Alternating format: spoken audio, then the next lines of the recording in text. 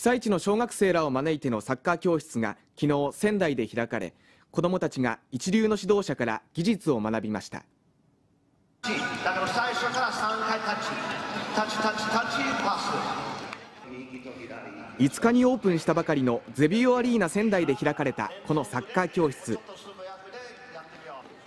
被災地の石巻や仙台などからおよそ60人の子どもたちが招かれました講師はサッカー指導者として有名なトム・バイヤーさん。子どもたちはドリブルなど基本的な技術を学びました。また湘南ベルマーレのフットサルチームとミニゲームで対戦。子どもたちが見事にシュートを決める場面も。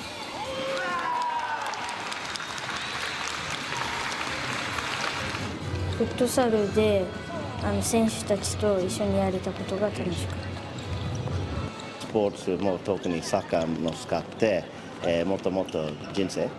あの幸せだったら、えーいいかなと思いますね。被災地支援の一環としてコニカミノルタが開いたこのサッカー教室子どもたちはトム・バイヤーさんらとの交流を楽しんでいました